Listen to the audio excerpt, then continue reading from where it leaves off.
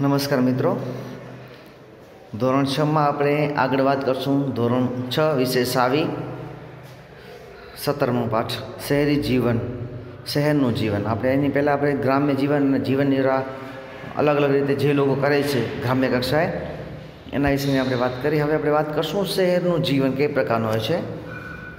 આપણે અત્યારે ગ્રામીણ અને જીવન નિર્વાહની વાત કરી. આ જ રીતે શહેરમાં પણ વ્યવસાય અને રોજગારી માટે જાણકારી મેળવી જરૂરી છે.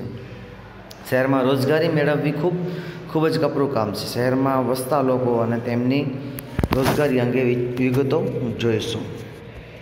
આપણી આસપાસ અનેક લોકો હોય છે. દરેકને કોઈને કોઈ કામ સાથે જોડાયેલા જ હોય છે. શહેરમાં વિવિધ પ્રકારના વ્યવસાય જોવા મળે છે. આ વ્યવસાય ઉપર અનેક લોકો નિર્ભર હોય છે. કોઈને દુકાન હોય તો કોઈને દુકાનમાં નોકરી, કોઈ ઓફિસમાં જાય, કોઈ રોડ ઉપર બેસીને ધંધો કરે. કેટલાક લોકો તો હસતા ફરતા કામ કરે. કોઈક શાળામાં કે કોલેજમાં ભણાવવા જાય તો કોઈ નાની મોટી મજૂરી કે કૌશલ્ય આધારે કામ મેળવી રોજગારી દ્વારા નિર્વાહ કરે છે. અહીંયા એક ઉદાહરણ આપેલું છે રેખાની વાત.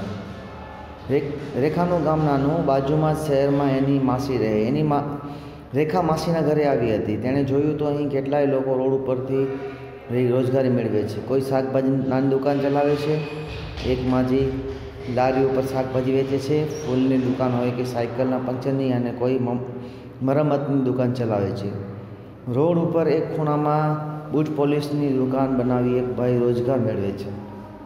સોડા સરબતની દુકાન કે કરિયાણાની દુકાન પણ અહીં જાણે રોડ ઉપર જ છે.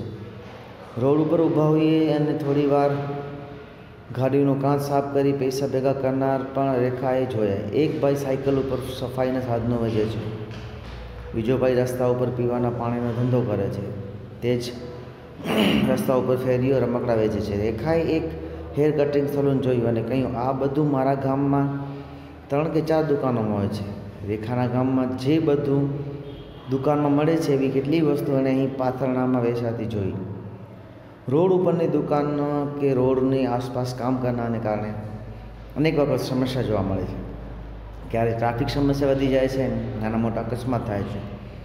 આવું રોડ ઉપર કે રોડની આસપાસ વસતા લોકોનો વ્યવસાય કરી રોજગારી મેળવે છે.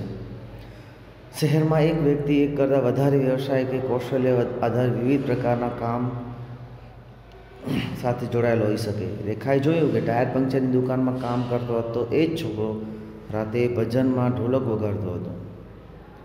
આવી રીતે અલગ અલગ પ્રકારનું કામ શહેરી કક્ષાએ થતા હોય છે. કરશનભાઈનું કામ. બનાસકાંઠા જિલ્લાના વાવ તાલુકામાં માવસરી ગામ, એક બાજુ રાજસ્થાન અને એક બાજુ પાકિસ્તાની સરહદ ધરાવતું ગામ. ગામમાં કરશનભાઈ રહે, તે ગામમાં સુથારી કામ કરતા. કરશનભાઈ પાંચ વર્ષથી બાજુના નગર થરાદમાં રહે છે. કરશનભાઈ શહેરમાં રિક્ષા ચલાવવાનું કામ કરે છે. તેમની તેમજ તેમની રિક્ષામાં શાળાના બાળકોને શાળા સુધી પહોંચાડે છે. આજે કરશનભાઈ પાસે બે રિક્ષા છે. કરશનભાઈ શહેરમાં રિક્ષા ચલાવી રોજગારી મેળવે છે.